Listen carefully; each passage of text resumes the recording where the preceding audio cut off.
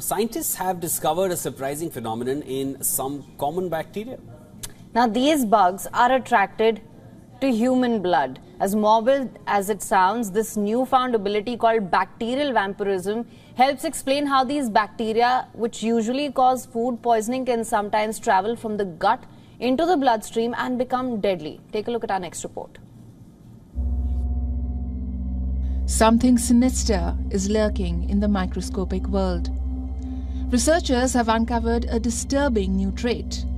Among common bacteria like Salmonella and E. coli, these bacteria seem to have the ability to detect and feast upon human blood, earning them the unnerving moniker of vampire bacteria.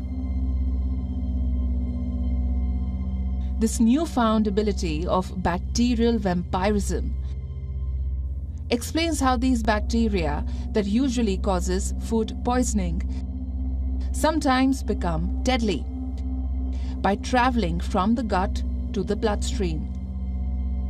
So how does the blood drinking work take place? Well, it starts with a seemingly innocuous cut or breach in the digestive system. The vampire bacteria sense the presence of blood and are drawn to the nutritious liquid part of the blood, called the serum. Swarming towards the source, once they infiltrate the circulatory system, the stage is set for a potentially deadly invasion.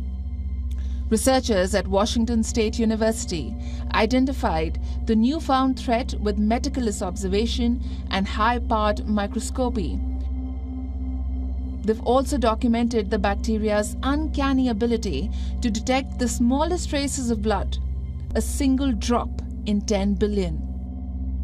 So, how can we keep the bacteria at bay? For a start, by maintaining good hygiene, ensuring food safety, and closely monitoring any signs of internal bleeding to ward off the threat of these microbes. Bureau Report, WION World is One.